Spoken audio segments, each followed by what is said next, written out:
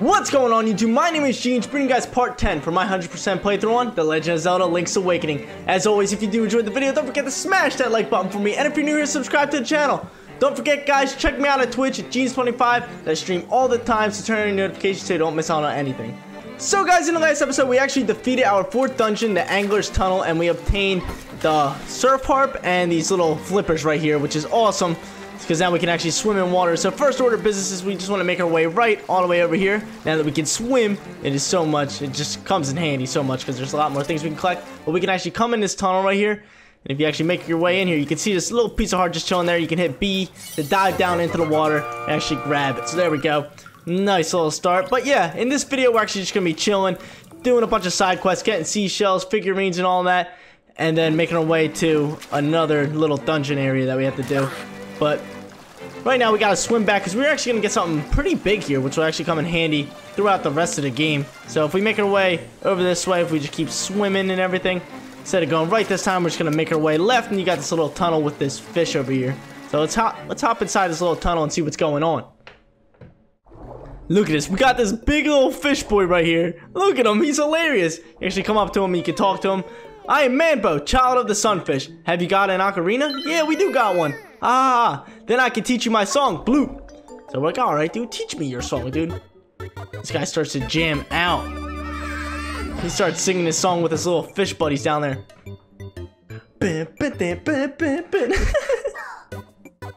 Dude, this song is a jam, everybody. Just gets better and better. Look at it. Oh! Yo, these guys are jamming. What?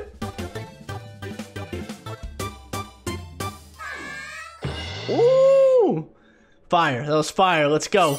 But we actually learned their song. You've learned Manbo's Mambo. when you get out of the water, play it. So he's gonna tell tell us what it does. When you play My Mambo, you can warp to a warp point around the island. Try this tune in dungeons too. And since today is a special day, I'll let you warp to Manbo's Pond too. Cha cha cha!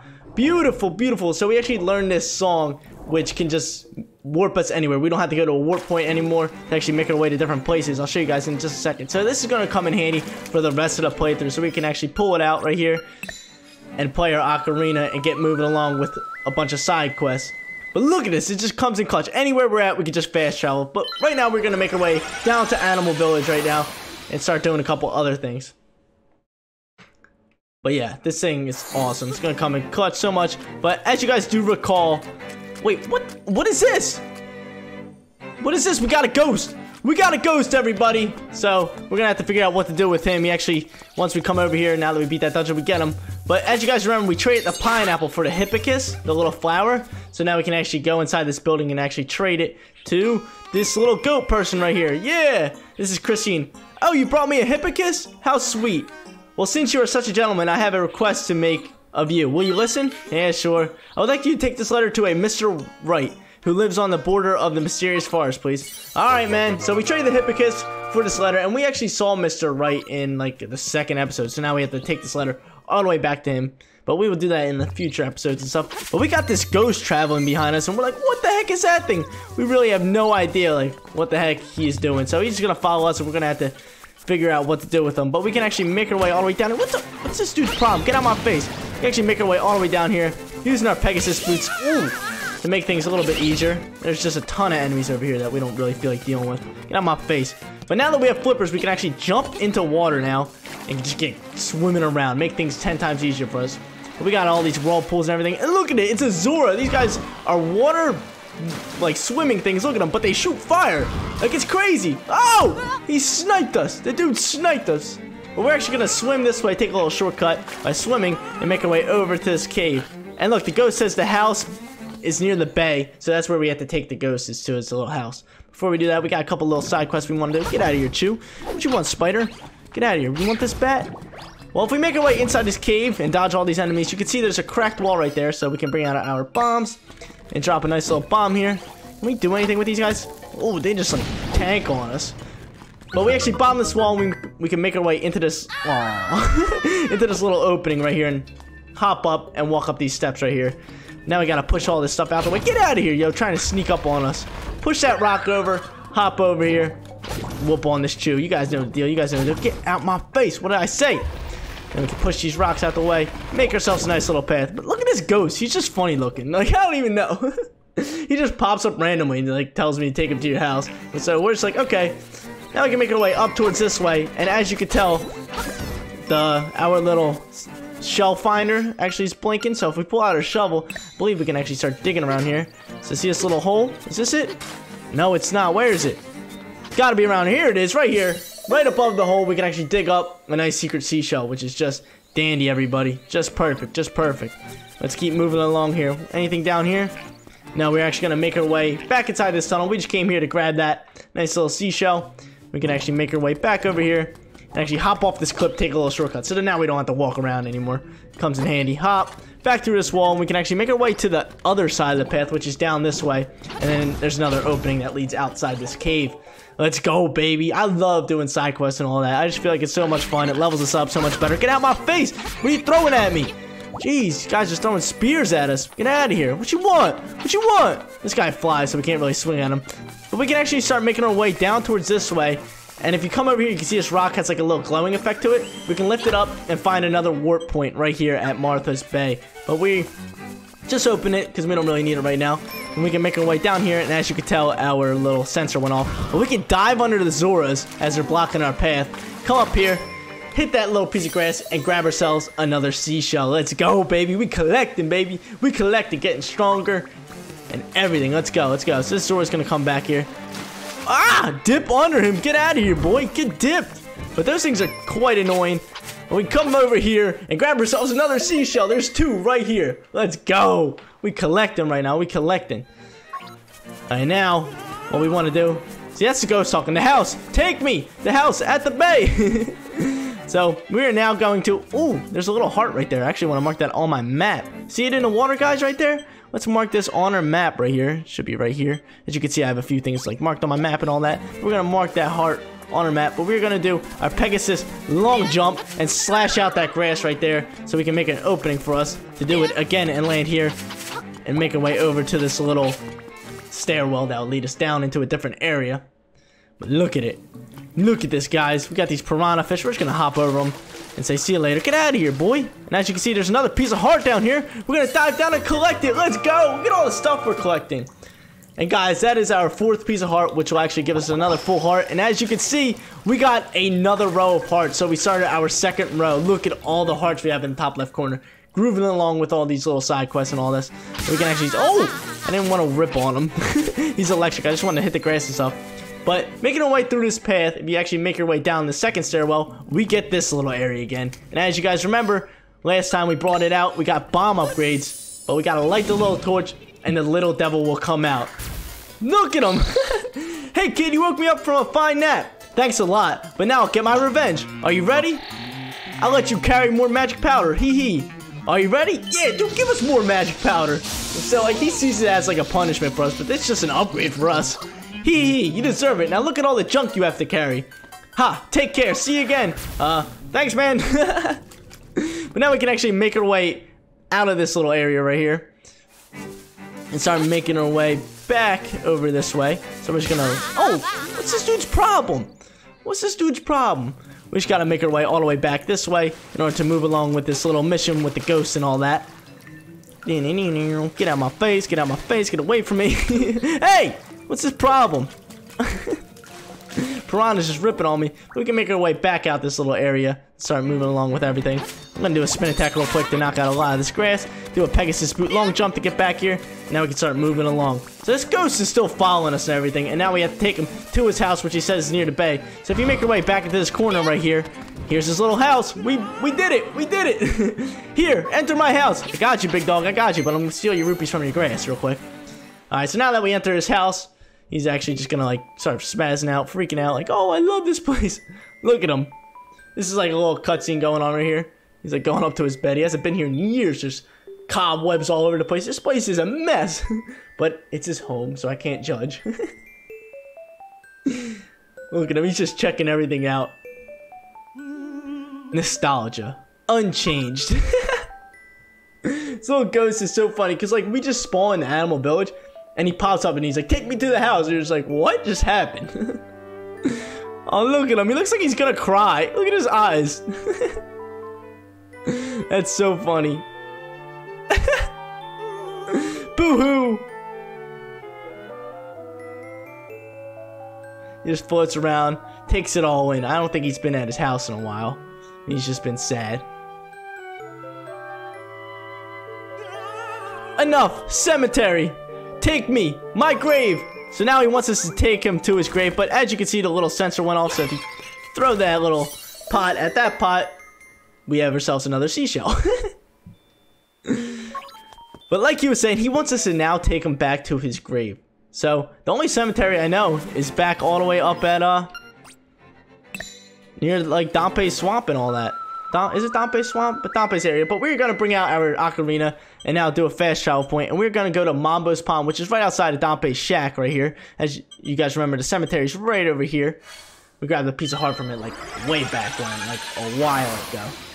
But we're actually going to warp to this place now. And this is actually going to come in clutch because I want to get something here that we lost in an earlier episode is we come over here to Crazy Tracy's little shack right here and we can buy her medicine once again.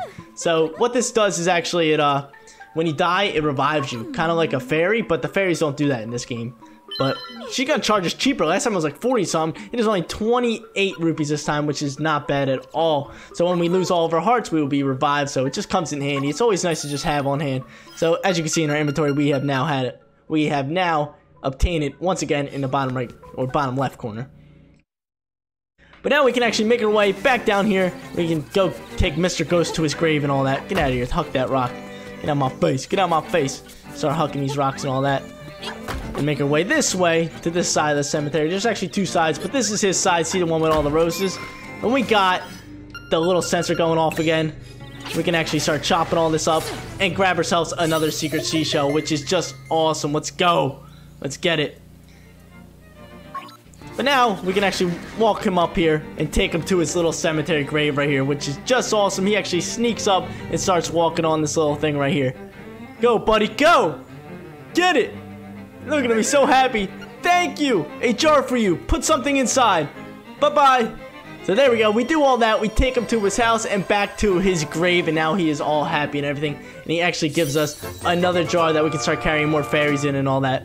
Which is just awesome. Let's get it. Let's get it now. Mr. Owl's gonna come back to us and all that. Actually, talk to us once again. See what he has to say. Hoot! It has been some time since our paths crossed, lad. You must dive into the waters of Martha's Bay to enter the catfish's maw. The closer you get to the windfish, the more restless he sleeps. Carry onward, Hoot. Yes! Let's go, baby. Let's get it. Come on, come on. Let's go. Okay, so now the, the owl tells us to go to Catfish's Maw, which is our next dungeon that we want to head to. But before that, we're going to head down here, in this little area right here. Because there's something down here for us. We can actually just start hopping across, knock this little beetle off the ledge right there. Get out my face. And actually pull out our bombs.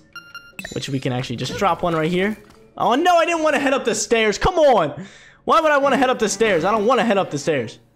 There's a piece of heart just chilling there, as you guys can see. We're just gonna head right here. We don't want to push all that stuff, because then it'll mess everything up.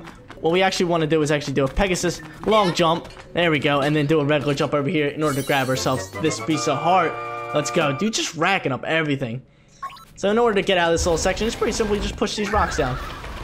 Throw them down there, say get out my face, and now we can make our way out of the little cave there. Now we can bring out our ocarina one more time because there's actually like a few more things I want to do before we end off this episode. But we're actually gonna fast travel now to Ukuku Prairie and head back to Mabe Village because you guys know what's at Mabe Village. We got the crane game. We gotta go get get something from there, a little collectible. So let's just charge up our Pegasus run and all that, make things a little bit easier for us, and get grooving along to it. How many rupees do we have? We have 600 rupees. We're actually gonna need about 300 more in order to get an item.